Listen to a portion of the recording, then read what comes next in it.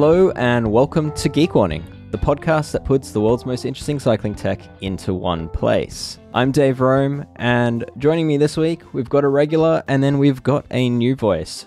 First, the regular, Brad Copeland. How are you doing? Hello, Dave. Uh, I'm doing wonderfully, as always. Great. Always happy to hear it. Uh, and the new voice is uh, one of our newest tech hires to Escape Collective, uh, Suvi Loponen. Suvi, welcome to the podcast. Thank you so much. Suvi, uh, I think for people that listen to Spin Cycle, they might have heard your voice already. But for anyone that's uh, just listens to Geek Warning, uh, they might have seen your byline appear on the site. But uh, tell us, where did you come from? So, yeah, I'm relatively new to the cycling media. I was at road.cc before I joined Escape ranks. I've been in the bike industry, though, for a bit longer in bike shops. And before getting into the media side of things, I was at, working at a bike share, for example. So, Oh. yeah. Interesting. What were you doing there? I was a business development manager, but I'd say I was Okay. doing everything. I mean, I was Okay. building the bikes, retrieving them Yeah. from the rivers. Oh, Whatever wow. goes Okay. on in bike shares, you know, everything. Yeah, yeah. Typical uh, bike industry role where you you do ten things. Yeah. Okay, and uh, I guess yeah, what got you started in writing about cycling or or cycling tech to be specific? Like, what what was it that inspired you to take that path? I think that's probably since I started cycling, I've always wanted to know how to fix my own bikes and just know about the tech rather than just ride bikes. And I guess I've always been more interested in that maybe than even racing side of things. Yep. I didn't grow Yep. up racing bikes. So yeah, then working in bike shops just kind of got more into knowing about different bikes. And then just from there, I realized I could combine that with my journalism degree and background. So it all kind of worked out well. And I became a tech writer. I think you're in good company there as far as uh, perhaps uh, liking the tech as much as the writing of the things. Yeah. So it's um, yeah, uh, that's kind of what we are uh, on this podcast. Uh, in a sense, we love riding bikes, but we also love the bikes. So um, yeah, I mean, what are your riding preferences? Like, what what kind of bikes do you prefer to ride, and what bikes are you riding? Currently, I mean, I've got a test bike, which is obviously, yeah, I ride a lot of test bikes. I feel I barely get to ride my own bikes anymore in the last mm-hmm. last couple of years. But my own road bike is a Tarmac SL6, which is probably the bike that I've owned the longest. Feels silly to say because it's not that old of a bike, but it is the one that I've clocked the most miles on. But I'd say since I've got that bike, I've totally steered more to the gravel side of things. That's probably my preferred discipline if I could only choose one. But long distance road bikes as well. I love them. Yeah, okay. Drop bar world is your SL6 rim brake or disc brake? Disc brake disc brake. Okay, all right. A good generation of bike that. So it is, and it's it's a nice one because no one knows whether it's a rim or disc when you say it. I think Ronan still has his rim brake SL6. So uh, yeah, there's there's a few in the Escape uh, amongst the Escape Collective team. Yeah. I believe Alex uh, actually, um, who's the other new tech writer who joined Yes. alongside me. Um, yeah, I think he might have had one as well. So I don't know. Interesting. Yeah, I, I, I had one uh, for about nine months. So I can't say I owned it, but uh, I had it on long term loan, and uh, yeah, I was sad to give that one back. Good bike. I also Uh, had an anyway. SL6 rim brake. Did you? yeah, just want to Rim throw brake. my hat in the ring. Yeah, I did. All right. We've all had SL6s in some It's capacity. the, the tie that binds. yes. Great bike, though. Seriously. It's classic at this point. So uh, it's not even that old. Uh, and Suvi, where's that accent from? Oh, the accent. um, I'm originally from Finland, so I guess I have a little bit of a Finnish rally accent still left in me. But I have lived in Scotland for a bit, so quite a few years Okay. now. So I guess it's a it's a mix of those two. Yeah. Okay. All right. So you being in Scotland, uh, we are on almost opposite time zones at the moment. Uh, so it's pretty late there for you. So you'll join us for, uh, I guess, to cover some news, and uh, and then you might uh, jump off to go to bed, and uh, and Brad and I will continue after that. But uh, so yeah, I mean, with that, let's let's not get it, let it get too late for you. Before we get started, I just want to remind everyone that Escape Collective is fully member funded. We don't have any ads, we don't have any uh, affiliate link content, we don't have any sponsored content. So, this podcast that you're hearing is wholly and solely funded by our members. So, thank you if you are a member. And if you're not a member, please consider becoming a member with Escape Collective. You can head to escapecollective.com forward slash member, sign up support what we do and gain yourself access to everything that we do. Uh, we're now publishing, I think, even on a weekly basis, uh, member exclusive podcasts in addition to this one that you're hearing. So there's plenty of content that uh, only our members are getting in full. So enjoy it. Uh, all right, with that, uh, let's jump into a little bit of news. So, uh, Suvi, uh, you were following along this weekend. We, there was a, a small race, Gravel World Cycling Championships few big names took part. A few big names won the thing. Uh, we had Vos take the women's and Mathieu van der Poel take the men's. But from a tech point of view, it's it's pretty interesting, and and I guess yeah, how different the the UCI races for gravel uh, are as versus what we see out of the US gravel scene, and and how that drives bike decisions. What were some broad themes that you saw? I think the broadest theme was that last year there were people still on road bikes as well, riding the gravel world mm. champs. But I think this year it was predominantly gravel bikes. So even Mathieu okay. van der Poel had a gravel bike to ride. But then still they were riding, most of the pros were riding pretty narrow tires, pretty high pressures, obviously because of that. I mean, the course was hardly the roughest most technical course. I think it was more of an ur- urban technical course with all the obstacles ah, on right. the pavements. And yeah, road gearing, road road pedals. It was more like a like a Belgian classics race rather than a gravel race. I think tech side of things. Yeah, so I mean, like we we recently had Dylan Johnson on the Performance Process podcast, and in that he was talking about like you know for American gravel races that he's often now looking to run the biggest tire he can, you know, like a basically a mountain bike tire on the gravel bike.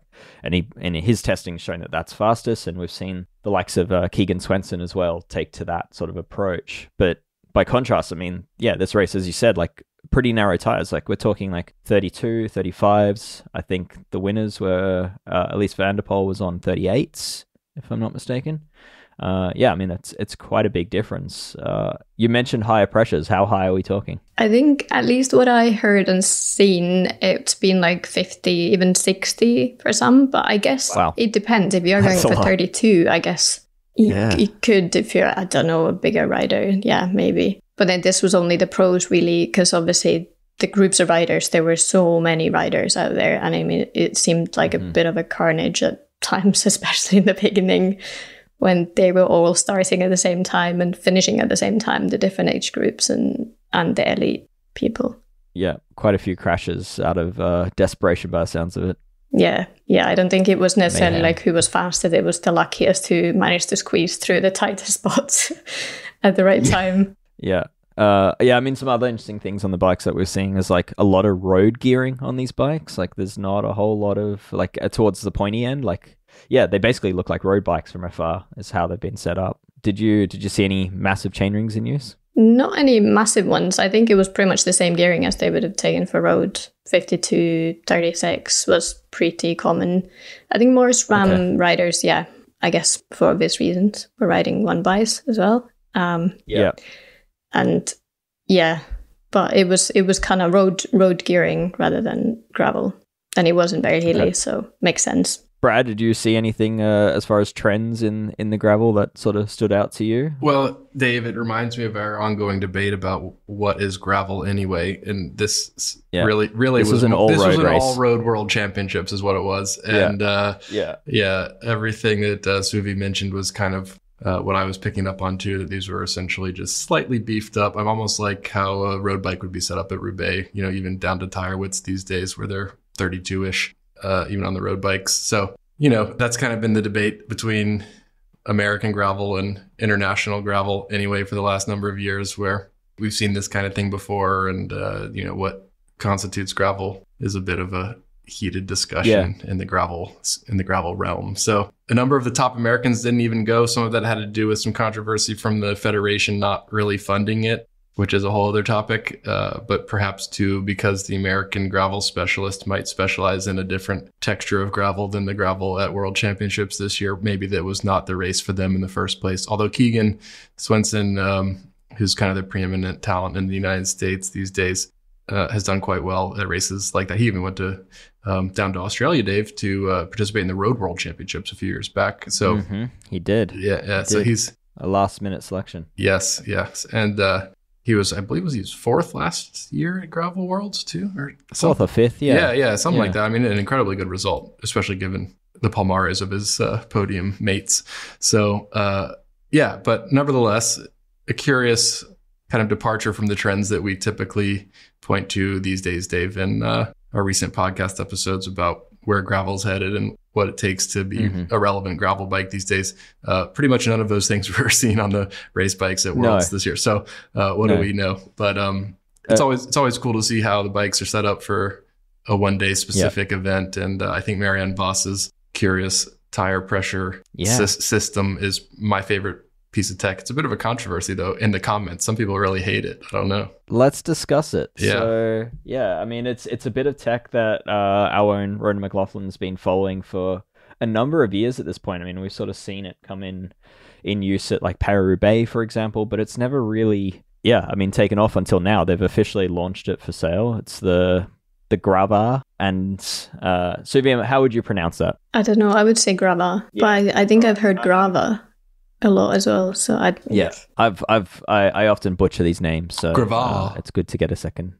Gravar? I don't know. Yeah, so there's a lot of vowels in this. Uh, but yeah, basically it's a a tire inflating system that's built a little compressor that's basically built into the hub and and can be used to uh yeah add air so you can deflate the air and then add it back depending on the the sectors. It's incredible. Brad, you seem to love it. Uh, I don't know a lot about it. Um, I mean, who can tell me something about it? Brad, why do you love it?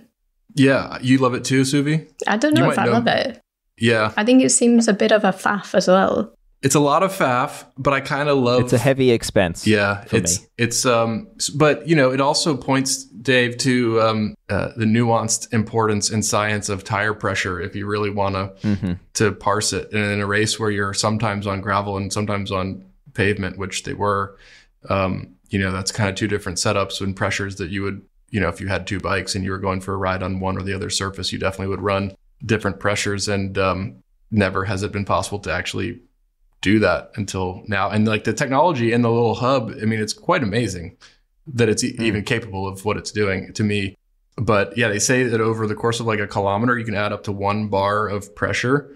However, they judge that a, a kilometer in distance. It's kind of like it charges the compressor off rotation rotation in the hub. I won't pretend to understand the nuance of that uh, contraption, but that's basically what what it's doing, and it feeds obviously air through a hose that kind of enters a special valve of theirs, and you can control it with buttons on the handlebar, like a little blip or a kind of like a satellite shifter type button under the bar tape. And so, you know, you can anticipate where you want to add pressure. It takes a while for it to happen, but you can drop pressures quickly. I think it's like a half bar in like a, like a couple seconds or a second or something like that because it can just release the air all out. Yeah, and then and then reinflate. Uh, I mean, so you've you've written down here like 14 psi per kilometer with a yeah, one bar per kilometer. Yeah, exactly. And Yeah. um, it's not a lot, but it's also kind of. I mean, No, I think it is. but but it's a lot. And like if you set the pressure correctly and you know where your you know your targets are, and it it actually sends uh, the data to your head unit or phone, so it, it tells you what pressure you're at. It's not like a guessing game or a feeling game. It's quite a sophisticated little object, and I'm kind of fascinated by it. For me, I think the biggest kind of what what makes me wonder if this is really usable, especially in race scenarios, like you st- do need to press the button. I'm not sure whether you need to push it continuously or whether you just blip it or like what do you do to it.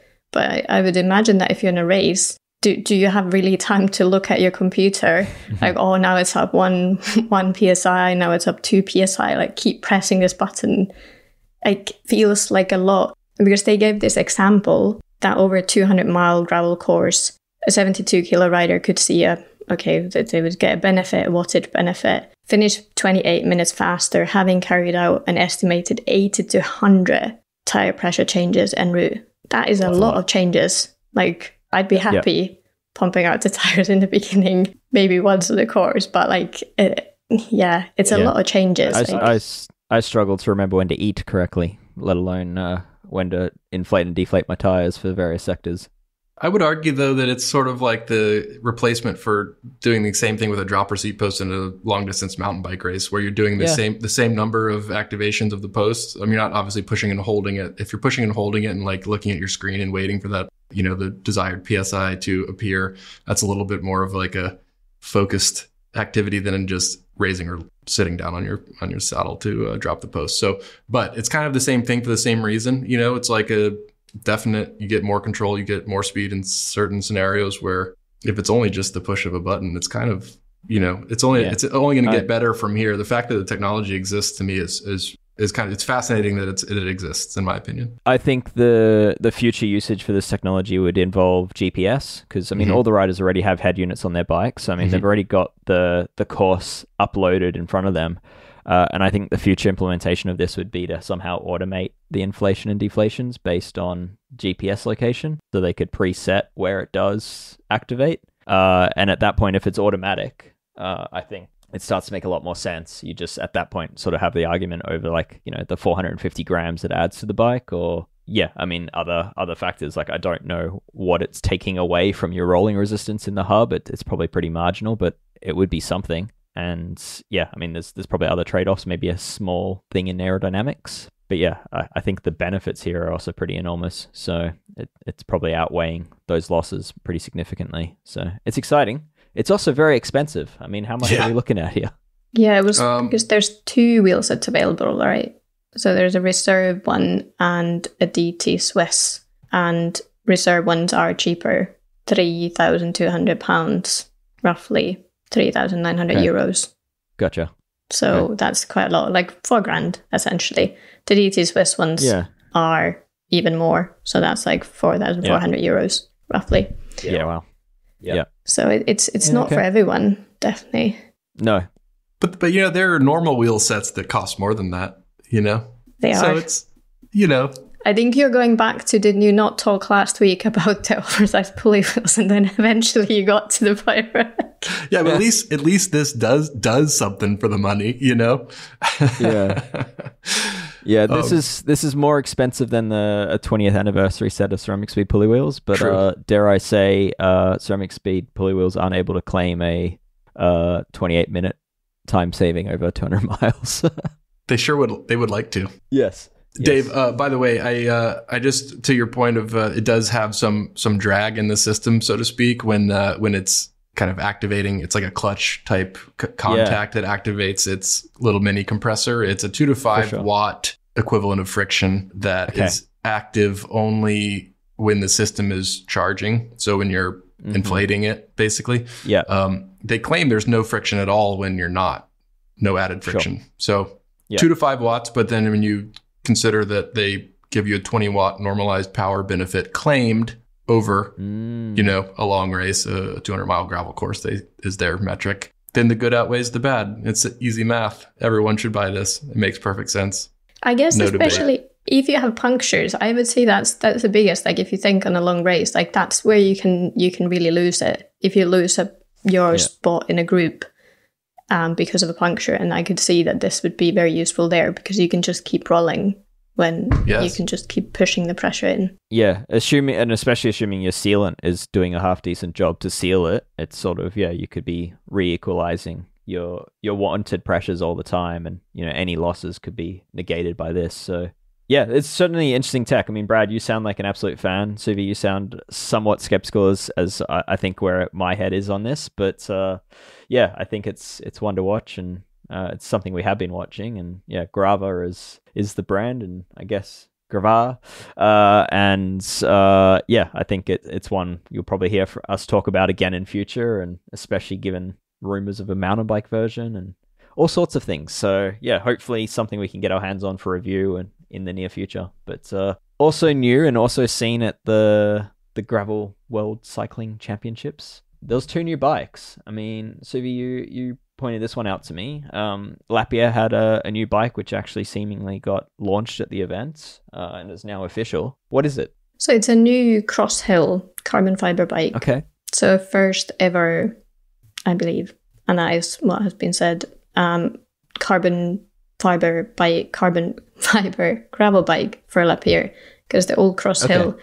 whenever it came out, I feel years and years ago, it was only mm. aluminium. So this is now gotcha. a carbon fiber okay. bike, and the one is specifically at the Gravel World Champs, and it was also at the Dutch National Gravel Championships, I think, ridden by the same rider Amber Kraak. Um, yeah, it's it's quite a squishy bike compared to what some of the roadies, other roadies were riding, because it has a dropper post, yeah. it has a yeah suspension fork, and yeah, a very mountain bike inspired frame. So it's kind of at first glance when it was before it was released, it did look a lot like the Pro Race CF from Lapierre. Mm-hmm. I think it. I mean, it looks almost identical. I feel the frame, except that it has a little bit more mount for top to bag and whatnot. But yeah, a very yeah. interesting looking bike and a yeah whole new carbon fiber range. So that one that was at the Gravel Worlds, that was the range topper model, but okay. there's there's a bit more affordable models as well. So yeah. yeah. Okay. So yeah, I mean the the key uh, defining frame feature here, other than the suspension fork, is like yeah, the seat stays sort of bypass the seat tube, and they sort of then connect onto the onto the top tube, which is sort of a, a designed to be a comfort inducing feature, and it's something Lapierre have done with a a few of their road bikes in the past, and it's uh, going further back. There was actually uh, there was like a a company called Volagi, which uh, I think were sort of first to do this in carbon fiber. They were a, a, disc brake exclusive brand back before disc brakes on road bikes were really a thing. Uh, so yeah, it's it's sort of a proven design idea at this point, and can go further back in cycling history to see similar. But uh, yeah, it's it's an interesting looking bike. It's a little odd though. I was looking at the geometry chart on this one, and I have to say, um, I'm a little confused by it. It's uh, yeah, you look at it and it looks like a really progressive, like off-road focused gravel bike with that suspension fork on the front. But then, uh, the geometry, like at least in my size, is going to have toe overlap with it. Yeah, the the reach figures are very road-like, but with a very high stack. Um, yeah, I'm not I'm not sure. Just based on that geometry on those geometry figures, I'm not sure if this is uh, as off-roady as it may may uh, visually look. Yeah, it also does have only clearance for 45 mil, which you'd right. Okay. Imagine that, that a bike that looks like it does with the suspend the suspension models, especially the suspension fork models. You'd assume that yeah. it, it's kind of and it's it is geared towards racing and adventure riding. So it's it's not just a race bike, but still 45 mil clearance, which is enough mm-hmm. for world champs, but not for Dylan Johnson. So yeah, it's yeah. it is I guess debatable whether it's enough or not. Yeah, it's a suspended all road bike. I think Brad would. It's a new a new subcategory of all road. Yeah. All right. Well, yeah. So that's that new bike from Lapierre. There's also a new bike from uh, Superior, which is uh, a Czech bike manufacturer, a Czech bike brand, and yeah, I mean, Superior might be a new brand for a lot of people listening. Uh, Sylvia, I'll, I'll, let you introduce the brand. I don't know. Have you heard about them, Brad? You know, it's a that's a good question. Uh, had I not spent a lot of the last year, a uh, few years in Europe um, on the cross country World Cup scene, I would have never heard of Superior.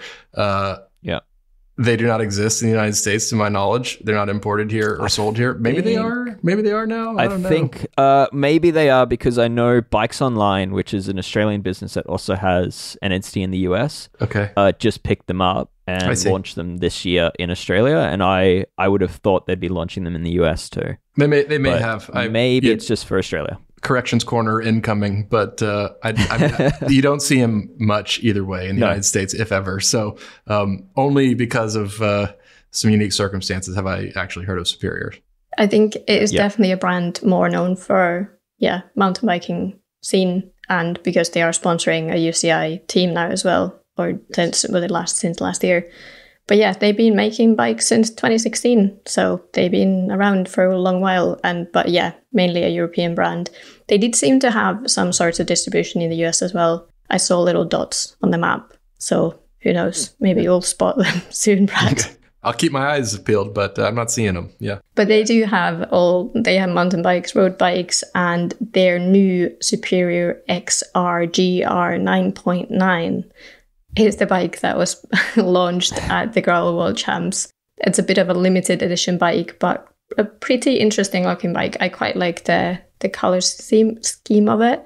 It's kind of like a very burgundy red bike, but it's obviously what it claims to be is the fastest, lightest, most aero gravel bike ever made. Mm. But it is pretty Wow. light, has a carbon fiber frame, 200, They must they must be the first one to make that claim. Oh, yeah, absolutely. Maybe they should call themselves superlative rather than superior. But uh, yeah, that's everybody's claim, isn't it? Each week we have a new fastest, lightest, uh, Indeed. arrowist. Yeah. yeah pretty much there's yeah there's there's some things that are interesting about the frame itself yeah yeah 827 gram i think that was size Yeah, medium light. frame so it's pretty light um yeah but other than that it's the pretty standard arrow shaped tubes drop steep steep stays it has udh 45 mil tire clearance integrated tail There's light that 45 maybe. again.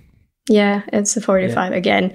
But this is, I think, interesting conversation as well that whether you could fit in more than that, you could probably clear Yeah, more than you typically that. can. Yeah. But that So- is the recommended. Uh, so Superior, like at least in Australia, like they kind of they've launched into the country as being like a really high value oriented brand, like very high performance, but also with a lot of value. Uh, I don't know if that's just exclusive to how they're being sold consumer direct in Australia, or whether that applies to other markets. Uh, yeah, I got to say I'm a, a little bit naive on this on this brand. I don't know a lot about how they how they're sold and how they're placed within the European market, but they have been linked with uh, former Olympic champion and former world champion uh, Jaroslav Kulhavý for a few years now. So, uh, and I think he was representing them at the Gravel World Champs. So, yeah, I mean, certainly a, a big name in that in that part of the world, and you know, he's sort of the uh, you know, the mountain bike hero of of uh, of that country. So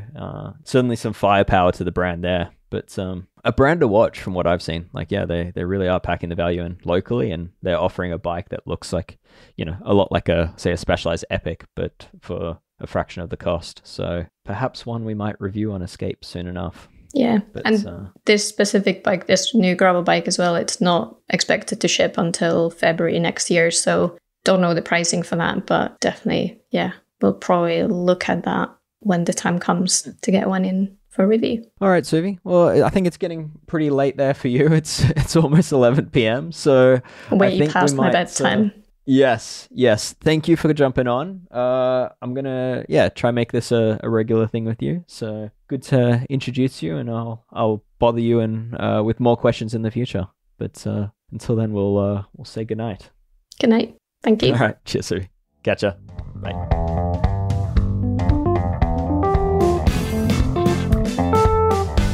So, Brad, uh, on my mind this week uh, is it comes off the back of uh, an article by uh, Escape's Kit Nicholson. Uh, and Kit wrote about kits uh, in an article about basically the Mount Rushmore of uh, cycling kits. So, like professional racing kits over the years. So, like the four greatest kits of all time. Uh, and it got, All Mario Cipollini. oh no. No, I'm just kidding. I mean, You're going to get us cancelled, Brad. sorry. uh, and yeah, I guess that that struck uh, a conversation. There was a conversation a week ago, or maybe two weeks ago, on uh, Escape's Discord, which is sort of like a place members can hang out and, and chat freely. Yeah, there was a discussion about the Mount Rushmore of cranksets and what are the four greatest cranksets in cycling history. It's a discussion that, if we were to actually pick four, we would anger the internet greatly, and uh, I don't think we're everyone's ever going to dis- uh, agree on them. So I'd say, you know, head to the article that for this podcast on Escape Collective if you're listening and jump into the comments there and share what you think is maybe, you know, one, two, three, or four of your favorite crank sets of all time and what you think are the best. But uh but Brad, you you told me you've been thinking about this all day. So uh tell me, what's on your list? Well, I didn't. I don't know if I narrowed it down to four either. If anything, my list just continued to grow. Uh-oh. Uh, but Uh was a split 9000 Shimano crankset on your list, Brad? no, uh, no. But I do have a Shimano crank on my list. Okay. Um, that's a little more interesting than that, and uh, seldom seen one that people may not even know about. So, um, Is it carbon? s- uh, yeah, Yeah, yeah, okay. it is. Uh, You, you know about it. Have you ever seen one real life? 7800 carbon? 7800 C. Yes, never seen one in person, no. 7800 C. Um, we had a couple of them come through too, if I'm not mistaken. Come through. Uh, Fresh Bikes Mm. was the name of the bike shop I worked at with Greg, my current co-conspirator. uh, again, he was um, the the service department uh, head at the time, and we had some pretty fancy stuff in that bike shop. So Mm. the uh, the FC 7800C for carbon is the only carbon crank that Shimano has ever sold publicly, and it, despite being from the 7800 series, it was really more um, aesthetically matched to the 7900 series of Dura-Ace, which was the, f- the first sort of under the bar tape routed Yep. uh, shift housing version of Dura-Ace 10 speed. And this was a carbon crank sold in, I think it was maybe only 170 in 172.5 or there's like very few lengths offered. And it was, uh, yeah, a carbon, a carbon Shimano crank uh, with the Hollowtech 2 spindle, same technology that still is basically what they're using these days. yeah But if you have never seen that crank, they Mm. were super rare and uh, it's a beautiful crank. It's, you know, it's a styled of the of the era, so it's a kind of a I don't know if I love that era of styling of parts in general all that much. Honestly, like it's like 2010 ish or so. I would say maybe that is roughly the time period we're talking here. Mhm.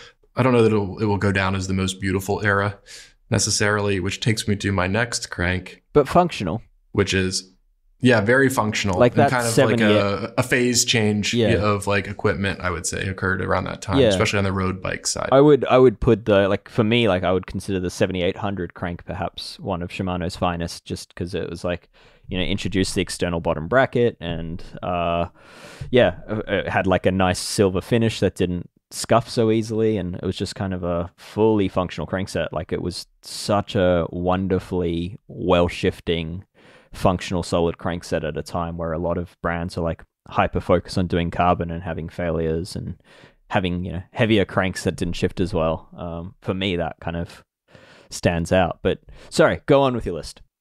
Well, uh, I agree with you. 7800 was actually better than 7900 performance wise, uh, unfor- unfortunately. Um, but uh, I think the most beautiful, and this is applies to the entire group set, but the 7700, Mhm. which was a traditional, it was an Octolink spline, but it was a traditional looking crankset, kind of more of your classic mid 90s. Uh, of course, the 25th anniversary edition, which is like a very high polished version, would be the most special of that of that series of crank. That would be on my list Yep. as well. Um, and although it may not be as um, technologically interesting, it was not that like different from its previous generation Mhm. in the way that 7800 was very different from it. It's a, just a classically beautiful piece of kit that uh, still to this day I you know have a very soft spot for that that group set. Mm.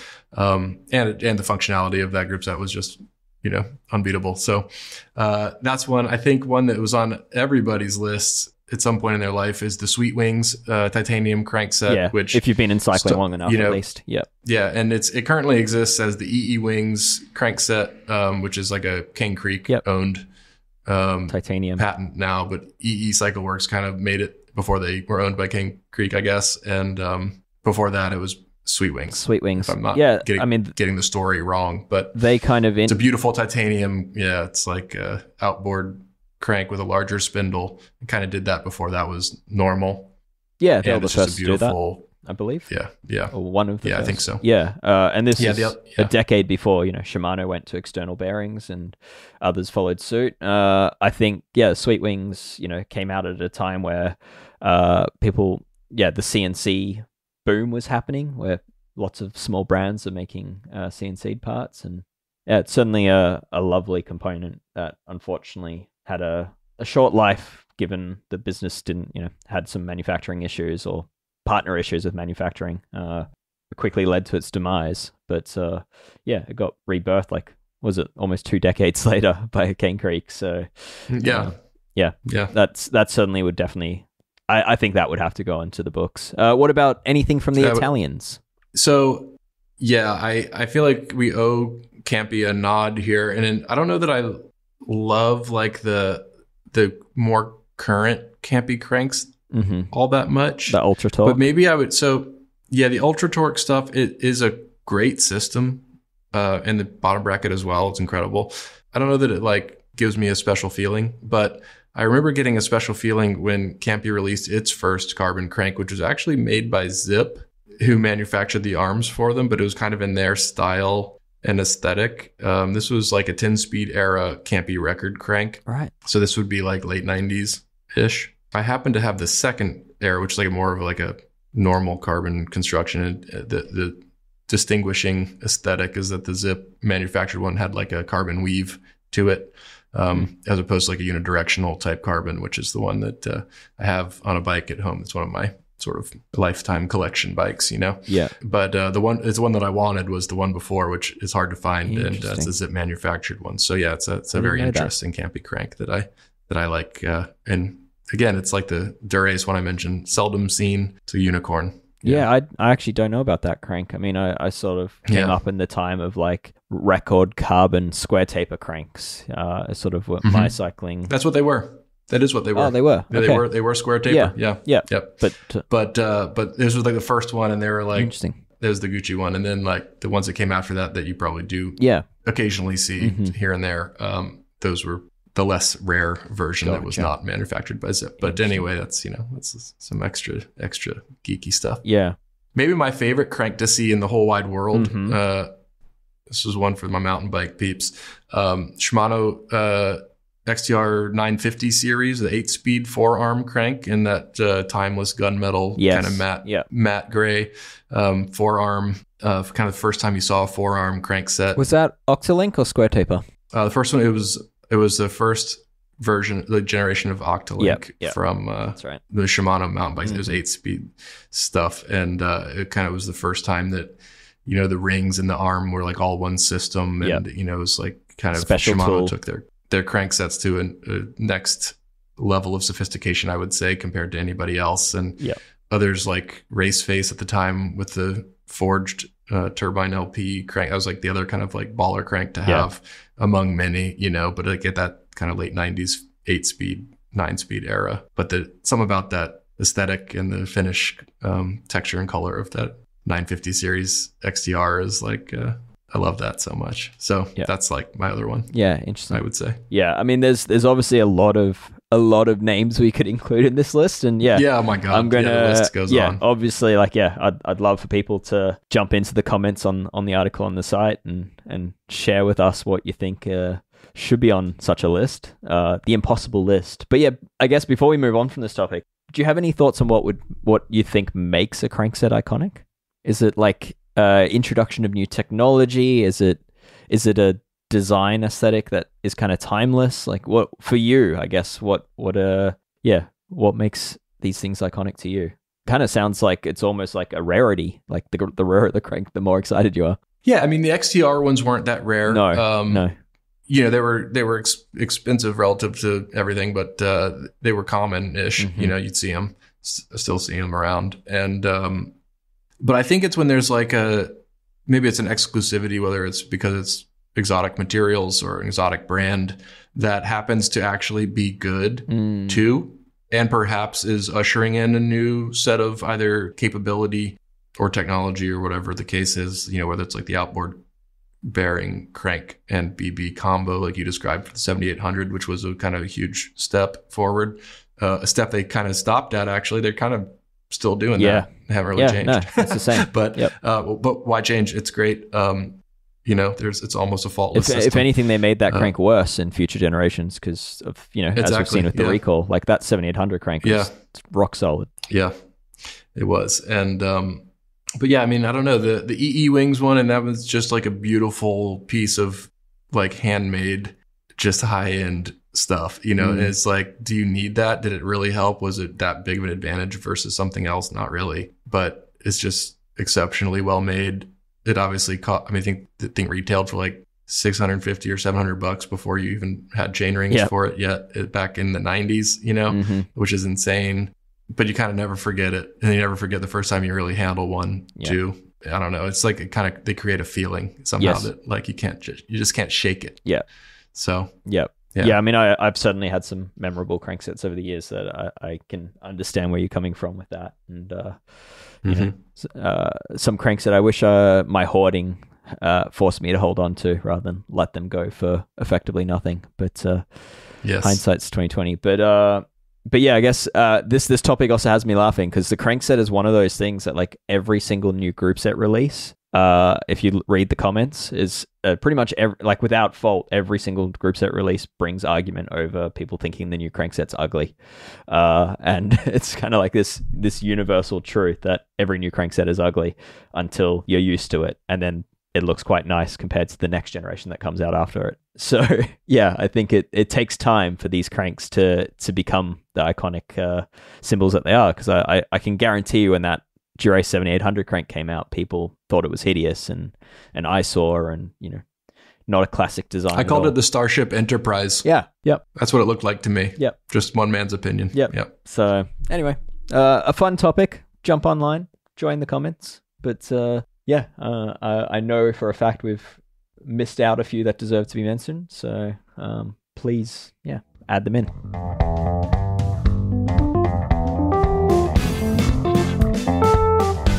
All right, Brad. I think it is time for Ask a Wrench. Uh, this time we we're back. You and I are going to answer some questions. Uh, thank you to Tristan Tristan from Wheelworks in New Zealand last week, get, diving deep into wheel building theory and I'm actually going to do a bonus episode with Tristan in the next few weeks on all things uh, textile spokes, specifically Berd spokes. He's he's become somewhat of an expert on it. He's been quite hyper obsessed with the idea of building those wheels better, and um, there's quite a lot to it. So yeah, I'm going to talk to him about some back-to-back testing he's done between steel spokes and how you build a wheel with them, and why you might consider the technology because it, it sounds like he's getting an increasing amount of demand for them, as I'm sure other wheel builders are. So I'm curious to learn more about them. So that's I'm selfishly doing a podcast about them. Uh, so yeah, keep an ear out for that. But Brad, uh, for now, let's we've got three questions. Let's jump into them. Uh, the first one is from Brandon Conine out of uh, Cincinnati, Ohio, and uh, yeah, let's hear what he has to ask. Um, while I'm really familiar with road bikes and the technology associated with them, I am much less familiar with mountain bike technology and specifically with uh, suspension settings and just suspension in general. Um, I have a new Pivot Mach 4 SL that I absolutely love to ride, um, but I'm trying to, one, keep up with maintenance and two, uh, just kind of fine tune some settings. Um, when I go to the uh, Fox website, I get completely overwhelmed with all the different types of forks, suspensions, which one I have, um, how to set the appropriate um, amount of pressure, dampening, everything like that. Um, do you have any specific recommendations on where to go for further information that maybe dumbs it down a little bit uh, and can kind of give me general overviews as opposed to tech pages from companies that just provide huge amounts of information, figures, graphs that uh, are a little bit overwhelming for somebody just newly getting into the maintenance of these uh, types of machines. Thanks a lot. I appreciate it. Keep up the good work and looking forward to hearing your answer. All right, Brad. Uh, yeah, I mean, sounds like uh, Brandon's somewhat new to the mountain bike world. Uh, what advice do you have to getting into the suspension and, and getting a, a good baseline set up? Yeah, well, this is a really good question, and it's uh, definitely an area worth spending time uh, to to figure it out. So, good job um, taking the initiative to not just accept how your bike uh, was handed to you at the shop and just ride it mm-hmm. from there without really thinking, which I think is uh, some people's approach, or doing kind of minimal fiddling or being a little bit afraid to touch these things. But it's good to familiarize yourself. Um, these forks and shocks these days often have quite a number of features. So Fox's website does have kind of a good um, baseline settings, and um, Dave and I were discussing this, and you can. Uh, actually enter the serial number uh, from your shock or fork on their website and it will pull up the relevant manuals for the products that you have so if you're having trouble figuring out exactly which model or spec you have uh, on your fork or shock uh, that's one one good and quick way to do it. And um, and Fox does provide for their suspension components and for your riding style, rider weight, etc. Some good baseline settings like how many clicks of rebound, how many clicks of compression damping, um, and if you have more features than that, it can go more uh, in depth than that. So uh, I would say everything kind of starts around a sag setting, and that's um, sort of the baseline setting that any suspension fork can you define sag? I can. Yeah. So when you're when you're seated, um, on your bike in a fairly neutral seated position. Uh, you want kind of if you have any lockouts or anything like that, everything fully open, fully active, compression open. Um, so there's nothing resisting the settling in of the suspension as you sit on the bike. you're stationary, you're you're hopefully leaning against the wall but not holding against the wall. Like if you can rest your shoulder or so against the wall or in a door frame, that's often the best because you're not like some of your weight's not being sort of channeled elsewhere to support your own self as you try not to tip over on your bike. Basically, settle in. Your suspension components will have a rubber O ring around uh, one of the fork legs, and the shock stanchion as well usually uh, is equipped with one on a new bike. And uh, so you'll basically set those um, before you sit on the bike. It's oftentimes maybe better if you have a friend or if you can settle those rings kind of all the way up to the body of the shock uh, so that when you get off, you can extend the components uh, fork and shock and see how much travel uh, basically compressed into your shock and fork while you were seated in a neutral position on your bike. And you're kind of shooting, depending on the riding style type of bike, 20 to 25% of sag um, relative to the full stroke uh, is basically the benchmark there. Many manufacturers will provide kind of target ranges of air pressure, but I find that those are sometimes just wrong. Sometimes, depending on your setup, like if you have a more aggressive lower front end and a weight distribution more over your fork, uh, or the opposite setup where you're more upright, sometimes those air pressure settings that are like on a sticker on your fork leg aren't really that accurate, in my opinion. So I like to do it off true sag measurements where I'm setting 20% is kind of my starting point usually and take it from there.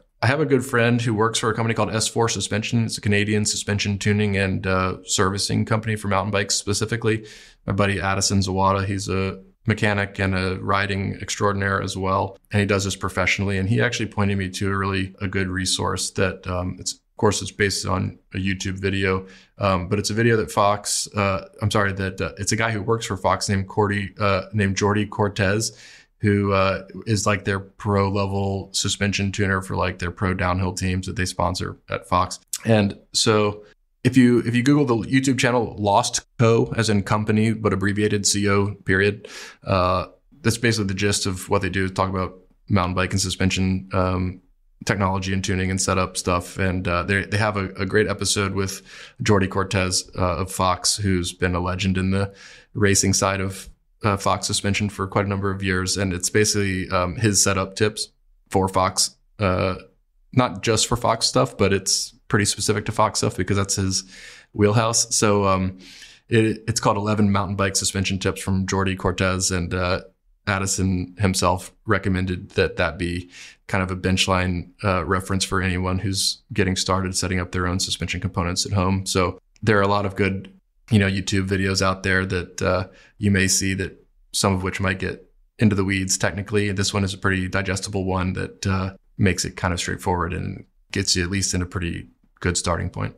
Uh, yeah, so I mean, sag is is fundamental to setting a suspension. That's that's absolutely going to be the the biggest thing to get right. Um, but after that, you've got all like the the little adjustment knobs, at least on higher end suspension. And uh, yeah, I mean, Brad, you you mentioned like compression, rebound, all these various things that some of our listeners might not be familiar with. Um, rebound is basically the the control of how quickly the suspension returns to its full travel, uh, how how quickly it bounces back after it's been compressed, and then uh, compression basically controls the the valving for how yeah how how the damper responds to impact. So how much uh, force is required to get the suspension moving through its travel or into its travel. And yeah, that's very very basic, but uh, but yeah, I mean that's that's, that's sort of two key things to know. And it's commonly advised, and I'm sure Jordi recommends this in that video. I actually haven't seen the video, but uh, I know he often recommends this is a thing called bracketing, where yeah, so the idea is is that you you basically just go out and play, and you you figure out what the knobs do based on feel. So uh, you add two clicks in one direction, and you go and do like a, a one minute downhill and feel what it's done to the ride. Uh, was it better before, or was it better with this adjustment? Uh, and then yeah, you basically just keep going and and uh, you know go the opposite. Don't be afraid. Like go the opposite way. Find out what that does uh, with the adjustments. Um, you know, add more rebound, take it away. Uh, but yeah, just change one thing at a time. Do a quick loop of a, a, a familiar little short trail and and see what it does to the bike and keep track of the adjustments you made and yeah the the bracketing will basically hone you into a, a setup that feels good to you because there is a lot of personal preference in this and a lot of it does also depend on you know the trails you're riding, your riding style, your riding level, uh, you know how quickly you're hitting into things, uh, all sorts of things. So um, but yeah, I mean, the, these adjustments are external of the suspension for easy adjustment, and so yeah, don't be afraid to to adjust and play and feel what they do. Um, you know, give yourself a, a, a ride just to do this, uh, and you'll you'll probably end up with a nice suspension setup that feels good and makes you faster and makes you happier on the bike. So go forth. All right. Uh, we'll include a, a link to the that video Brad mentioned because uh, Jordi's a bit of a legend in the scene, so certainly worth sharing. The next question comes from Jeremy out of uh, Belgium. Let's uh, let's listen to what uh, Jeremy has to ask. I was wondering if you could share with us uh, your tips and advices to increase the lifespan of a of a road tire. Uh, I've been quite frustrated to toss a front tire that is still in good shape, but the rear is almost square. And I was wondering if it was a good idea to maybe switch the front with the rear every 200 and 300 kilometers or so, or to just uh, switch the front uh, at the back when the back is shut and then buy a brand new one. But you have visually some discrepancies between an old tire and a fresh new tire. So, yeah, looking for your advices to get the most of my beloved uh, Conti GP5000s. And uh, as always, thank you for your great content. Cheers. Any tips for extending the life out of uh, the one contact patch you have with the ground?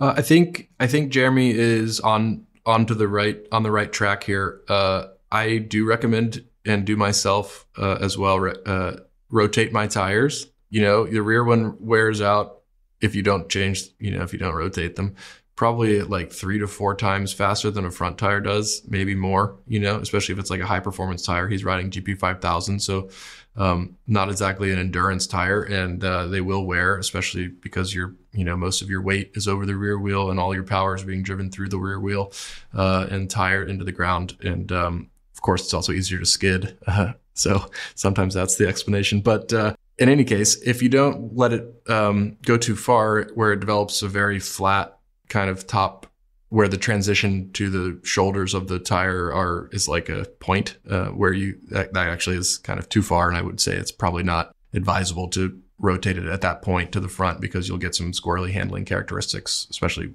in cornering when you kind of come off the flat spot onto that little edge. And it's kind of a very small yeah it's a it's it's hard to describe but it's a it's kind of a squirrely squirmy feeling and um, that's only good if you're maybe just stretching the life in your commuter bike but if you're if you're taking it seriously i wouldn't wait too long. You can rotate though and, and extend the life a little bit if you're paying close attention let's say to the to the wear.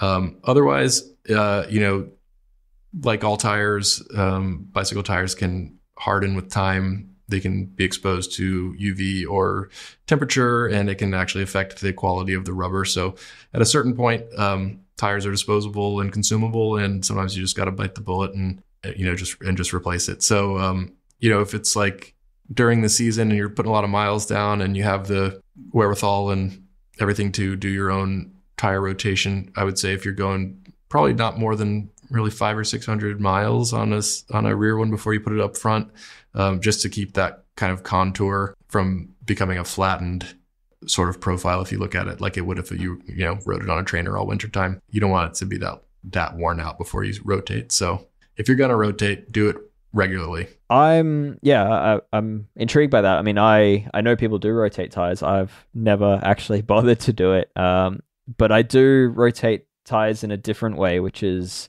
uh, i basically let the rear tire get flat and then you know once it starts to puncture or once it shows significant wear uh, i'll replace it. And this is assuming you're running the same tire front to rear. Uh, at that point i'll rotate the old front tire to the rear wheel and then put a fresh tire on the front wheel. Perhaps that's the lazier way to do it but that way you're, it, goes back to what brad said whereas the tire rubber degrades and you know starts to crack apart or harden so you don't have as much grip. So for me i always like to have like the freshest tire on the front uh, and that way you're you're not doing the common thing, which is like a lot of people ride with like a fresh rear tire and that front tire is four to five tires old at that point. You know, it's many, many years old and doesn't have as much grip as it should have. Um, that method really avoids doing that. So, but yeah, either way, it depends, you know, how often you want to be moving your tires around. I think Brad's definitely got a point. If you're rotating tires before they get worn, then that's going to extend the, the life out of the set, or you just wear through the rear and do what I suggest, which is switch the front to the rear and start fresh on the front again. Anything to add add to that one? No, I think that's good. Yeah, I um, he said maybe his his own idea of uh, switching front to rear at a two to three hundred kilometer interval.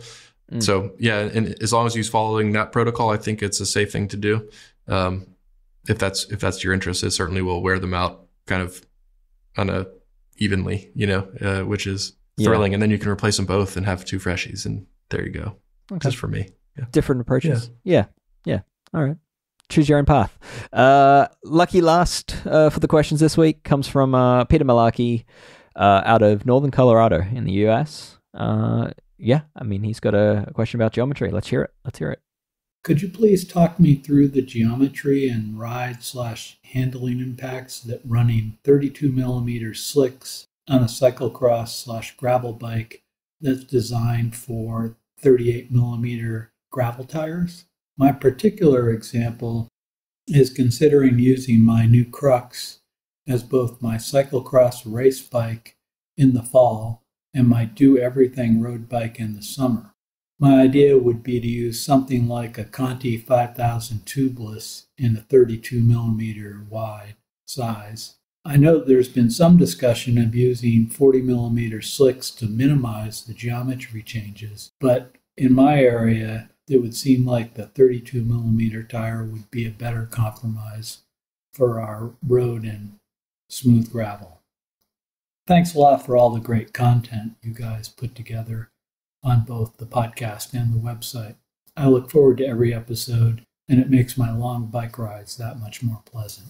All right, Peter. Uh, the question you're asking is quite interesting because that newer specialized crux has become I know quite a few people that are almost running it exclusively as a road bike. It's like got a bit more endurance geometry than like the Aethos, but it's a very lightweight bike. So I know of some people that have they've kind of turned it into like this wide tired, more more comfortable Aethos uh, version for Specialized. So uh, you can absolutely run it as a road bike with a 32 mil tire. It's there's no issue in doing it. But I guess in terms of what to expect, uh, I ran some numbers. If you were to have a 54 centimeter frame, uh, the stock trail figure on that is 67 millimeters with a 700 by 42 millimeter gravel tire. If you were to go to a 32 mil road tire on that, uh, your trail figure will reduce to 63 millimeters. And basically, what that means is your handling will quick uh, will quicken. So it's a pretty decent jump, 67 to 63 millimeters. But yeah, fundamentally, the bike will become a little bit more twitchy in its ways. Uh, yeah, require less input at the handlebar to to get it moving uh, in a different direction or get it changing direction. So change in how quick it handles is what you can expect. And the smaller the tire you go, the more noticeable that uh, quickening of the handling will get. Uh, also, you have to consider the change in diameter. So, uh, yeah, I mean the the bottom bracket on that bike is relatively low, but not ridiculously low. So you'll be safe with 32 mil tires, but uh, but yeah, you're probably looking at uh, lowering of the bottom bracket by approximately a centimeter uh, between, uh, say, a 42 mil gravel tire and a 32 mil road tire. So, uh, yeah, the risk there is that you'll just have to be a bit more mindful when you're pedaling through corners uh, because your your risk of pedal strike against the ground will be higher. Other than that, not a lot of issue. I mean, yeah, the, the quicker handling you'll I believe you'll quickly get used to, and the, the pedal strike thing is yeah only only an issue if you're really trying to push it through. You know, if you're really pedaling when you shouldn't. But uh, uh, I completely support your suggestion to go for it, first of all. And I would say, yeah, like what you described, both the sort of quickened handling characteristics, a slightly lower BB and risk of pedal strikes on a downside pedal through the corner wouldn't really be different than if you hopped on a, let's say, a real road bike, a true road bike. Um, you'd probably experience both a shorter trail measurement and a lower BB height with the risk similar to what you would experience by dropping the effective BB height and pedal clearance if you switched to these smaller tires. So um, while it would be somewhat different and surely noticeable, you know, the characteristics of your bike would change. It wouldn't change to a point that's beyond what you would experience on a traditional road bike, really, in any measurable way. And therefore, um, also like Dave said, the Crux is the kind of one of my favorite do everything bikes right now. Anyway, it's so lightweight. It is basically a road bike with extra clearance in the first place. So I think that's a great application. And if you're spending time on pavement exclusively or basically exclusively, then uh, it would be a much more you know efficient ride, and uh, I think you'd be pleased with the effects of a 32 mil tire on there. And yeah, I see no I see no reason not to. Yep. So there are other considerations. Like if you've got one by on that bike, uh, the smaller tire will change your effective gearing. So it's possible that you might not then have enough gearing. Like the chainring might not be big enough at that point if you have downsized the tire. Uh, and also speeds on road are just that much higher. So you sort of need higher gearing to begin with. Those are considerations to to think about. But for the most part, yeah, this this really isn't going to be an issue on on this bike as long as you're not going too extreme on that that tire choice. Like 32 mils, a pretty safe bet. But yeah, also there's increasing amount of data and feedback that uh, you can go just as fast and be more comfortable uh, on slightly wider tires. So yeah, maybe consider like a 35 mil slick because you've got the clearance for it, and your ride will just be that much smoother and faster. Food for thought. But uh, but yeah, I guess just just to add one more, thing, like this question comes off the back of probably some of the things we've said, which is like some of these gravel bikes are optimized around really wide tires, and that putting a, a a road tire on them can make them handle pretty funky. This Crux kind of you know is is sort of a cyclocross race bike meets gravel bike, so it's kind of middle ground as far as intended tire width use. Yeah, if you've got a gravel bike that was built and its geometry is optimized around say a 50 mil tire, then at that point it probably is too extreme to then want to put a, a 30 or 32 mil slick on it and expect it to handle well. Um, so yeah, it's just sort of horses for courses, and each bike will be different in terms of uh, where its baseline is intended to be and what you can practically get away with. Uh, but yeah, for most gravel bikes on the market, this sort of uh, tire change is, is fully expected and uh, often encouraged. So encouraged by us, at least. Yes. So yeah. that's all that really matters. uh, oh well. Yes, yes. All right. Uh, that I guess that concludes the questions for this week. Uh, if you would like to ask a question, we're a few weeks behind in answering them, so please stay tuned. Please uh, be patient. But uh, you can ask them as long as you're a member of Escape Collective. You can head to escapecollective.com forward slash hello. Uh, introduce yourself, say where you're from, and then ask the question. Try to keep it brief, but uh, yeah, we'd love to hear from you. All right, Brad, before we wrap up, there's just a, a few quick little tech bits to cover.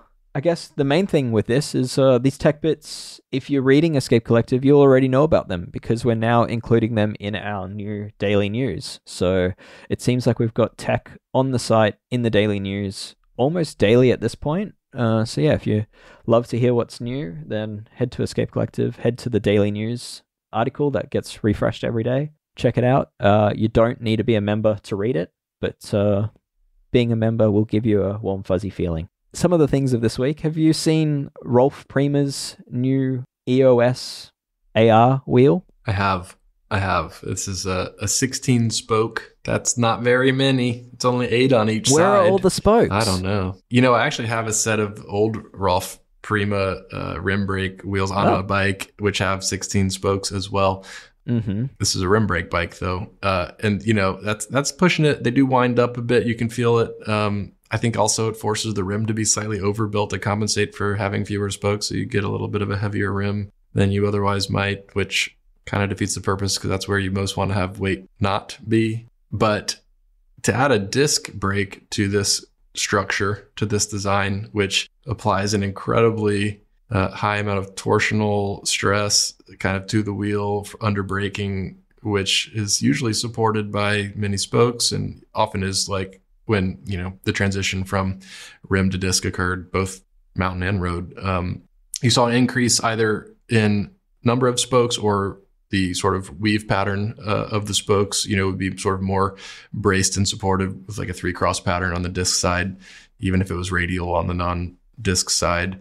Um, this is just a handful of spokes on each side, and um, you know the hub flanges are large which may help to share the load and um, support the structure of the wheel. But I have a feeling this is um, something you want to test out in real life first because it seems like a curious uh, approach to a disc wheel set. Yeah, let's say. I mean, it's it's certainly interesting to go so few spokes, yeah. sixteen spokes, just front and rear, mm-hmm. uh, standard steel spokes. I mean, Rolf Prima, like they're they're saying, you know, it's passed all their internal tests and durability tests and all that, and they're they're confident that they can they can make this a reality. And the reason they're doing it is, I mean, one, fewer spokes they're claiming leads to a improvement in ride quality, but the other thing they're saying is that um, fewer spokes is just simply more aerodynamic. You know, there's there's just less material circling through the air at that point. Can't argue with with that, but yeah, I mean, it it'll be interesting to see how these these play out. I mean, it's a company that's been making low spoke count wheels for many, many, many years. Uh, but yeah, it's certainly pushing the boundaries of what you'd expect possible in a disc brake wheel. So I thought it was interesting, but uh, it's, it's, very cool looking. Uh, very cool looking wheel. It's very different yeah, looking. Yeah, yeah, yeah. So um, yeah, I mean, you're looking, you're like just like what, what, who, who took some pliers? Who took some cutters to that wheel? Yes, that poor wheel. Yes. Uh, anyway, yeah, definitely an interesting product. Yeah, cool. But uh, yeah, one one I'm keen to see how it plays out in the market. Uh, also, it's talking of wheels. Uh, Hunt have released a new gravel race wheel, the 40 Limitless Gravel. Uh, some big weight savings going on here. They've dropped as much as 220 grams from the previous version. Uh, it's wide, but not crazy wide. So it's certainly not in the space of like uh, the Zipp Explore wheels that came out recently. Uh, Hunt have actually stayed within ETRTO uh, recommendations and standards here. So uh, the front wheel is 40 mil deep, 27 millimeters wide internal, uh, 36 millimeters wide external. Uh, the rear is a millimeter deeper, a millimeter narrower uh, internally and externally. So, uh, yeah, I mean, not crazy numbers, but certainly starting to see that trend balloon out a little bit where, you know, gravel wheels were 23 to 25 mil internal width, and we're, we are seeing those numbers grow out a little bit at this moment. Uh, these are hookless and complete wheel set weights start from 1,328 grams for a wheel set with carbon spokes. Um, it's pretty light. I like too the um, the the bead of the rim is so broad and mm-hmm. uh, and flat. Like uh, it's a what's like four four and a half millimeter width yeah. of the yeah, bead. So wide bead. basically, it's like um, I mean, it's partially how they get the rim to be as wide as it is externally. But the plus side is, and the the benefit of the way they've shaped that kind of top of the bead is sort of designed to be a broad, flatter surface that is a little bit less prone to pinch flatting should you happen to bottom out the rim uh, against the tire and a hard impact. And that's typically what causes a snake bite type uh, puncture, common on gravel bikes with low pressures on rougher surfaces. So um, a little bit of extra uh, benefit there as well. So nice to see kind of a thoughtful gravel wheel. It looks like a good wheel, and they they I think a lot of those weight savings, Dave, that you mentioned, 220 grams is comes in the form of uh, carbon spokes that they use. Uh, and yep. they have a they yep. have some, and and also a lighter rim and a lighter rim. Yes, exactly. And uh, yep. there are some versions of the wheel set which cost less and have a traditional stainless bladed steel spoke. Um, you know, with a slight weight penalty versus the carbon ones, but saves money. Indeed. Yes. Yeah. So yeah. So Hunt, like very value oriented consumer direct wheel company. Uh, yeah. So there are options. Yeah, as Brad said, you can get go full fancy with like CeramicSpeed bearings mm-hmm. and carbon spokes, Ooh. or you can uh, get steel steel bearings with steel spokes. Uh, in the same rim. The options are, are there, but uh, yeah, Hunt 40 Limitless Gravel. Uh, if you want to learn more about those. Uh, finally on the list is just uh, Sidi Brad, did you know Sidi was still making shoes? I did, but uh, you know that that might have been mean. But, but that, that was uncalled I, for. I apologize. I know what you mean, even though it was mean. Yeah. Uh, it used to be sort of the preeminent shoe brand there out there. You know, period. Um, it was. It's. I, it was the benchmark. Yeah, I, I mean, I'm sure they're still good. Actually, I haven't personally tried a pair in mm-hmm. 15 years, probably. I would say, but uh, yeah. Anyway, you and many others. Yeah. But uh, so Sidi have released a shoe for L'Eroica, like the old uh, classic bike event. Uh, so yeah, the Tenacia, Tenacia, Tenacia.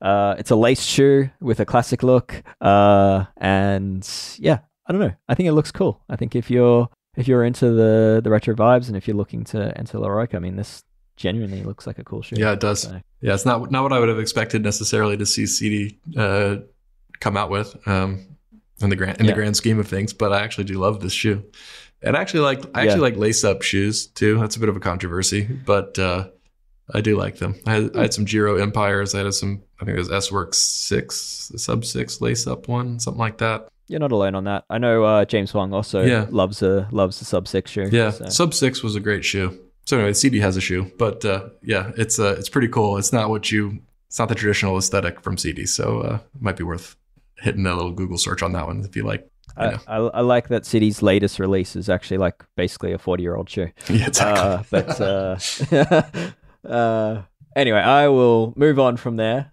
before the uh, yeah the cult of Sidi uh, complain to me. But uh, yeah, it's it's cool to see that brand still around. I mean, they're not they're not as big as they once were, but uh, still making footwear and uh, seemingly still doing unique things. So it's cool to see. All right, I think let's uh, wrap up the episode there.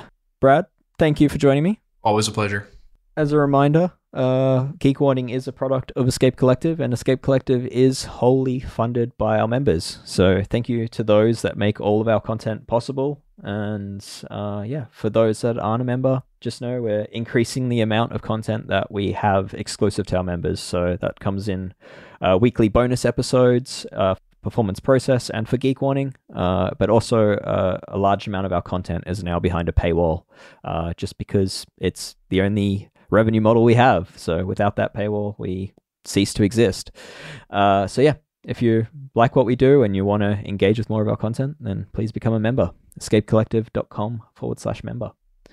Until next week, happy riding, happy wrenching. Brad, same time next week. I'll be here with bells on. All right. All right. Sounds noisy. All right, we'll see you then. See you, Dave.